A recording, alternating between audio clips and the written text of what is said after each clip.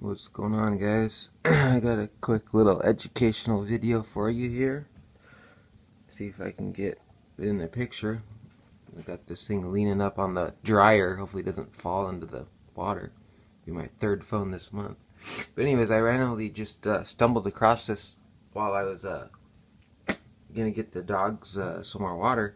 And it's, uh, it's kind of a cool little experiment how you could hear um, sound um, I guess you could say um, resonating, like sound resonating, and vibrations, um, I guess in different frequencies and stuff like that, traveling through water, and um, I guess something to resonate the the sound. So I got this with a little bit of water in it, and then I just have a, a end of a knife here, and uh, when you hit it, you get it's actually kind of cool too. You can see the the sound waves, the frequency waves on the water.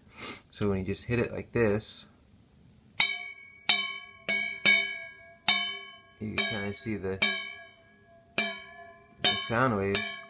But when I hit it and then move the water around, it makes some crazy sounds, almost like a little musical instrument. So I'll show you guys right now.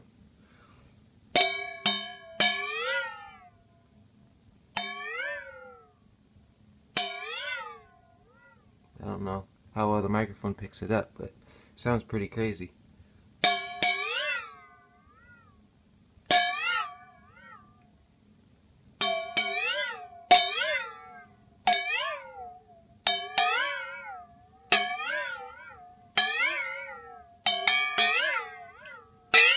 Like a little musical instrument. then you add a little bit more water into it, and uh, you get a whole different pitch.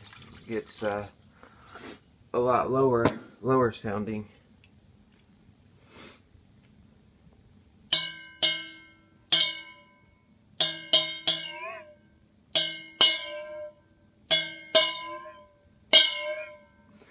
So that is all. Just thought I'd share this cool little thing I randomly stumbled across. So catch you guys later.